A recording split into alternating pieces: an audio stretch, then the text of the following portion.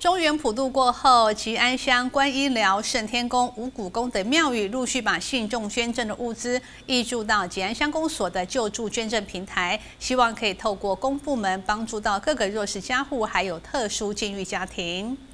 民众拿着提领券排出长长队伍，准备领取物资。在中原普渡过后，吉安乡观音寮、圣天宫、五谷宫等庙宇陆续将信众捐赠的物资移驻吉安乡公所救助捐赠平台，希望能让乡邻巷弄处处充满温馨。感谢各公庙开启地方救助能量的一个铺陈。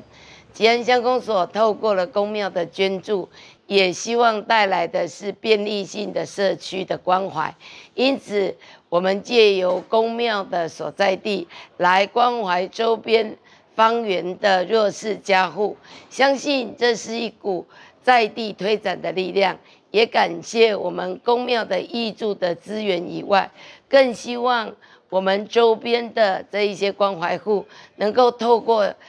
宗教的一个洗礼带来满满幸福被护佑的感受，因此我们串联各地的公庙，希望未来的救助不只是在吉安乡公所的发放物资的一个呃作为，而是分散到各区各地跟社区友善的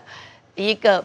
这样的一个发送工作，让乡亲更便利，也让他们可以认识周边的一个环境设施和公庙宗教信仰的铺陈。对于弱势家庭来说，这些物资就像及时雨，而公庙开放的社区型关怀，也让周边关怀户透过宗教善行，带来心灵的启迪和神明庇佑的安定，更希望能将这份温暖持续绵延。